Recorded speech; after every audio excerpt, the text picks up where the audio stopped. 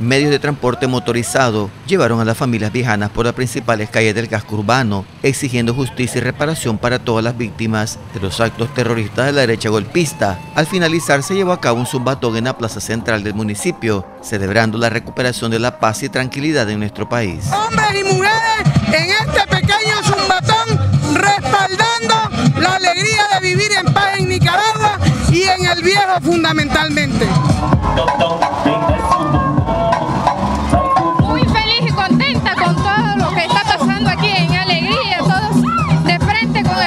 Por la paz y no violencia, justicia y respeto a la soberanía nacional, los viajanos recorrieron las calles aún en medio de la fuerte llovizna de la tarde y participaron del fortalecimiento de la salud a través del ejercicio físico con diferentes ritmos musicales. No queremos violencia, queremos paz, queremos amor y reconciliación.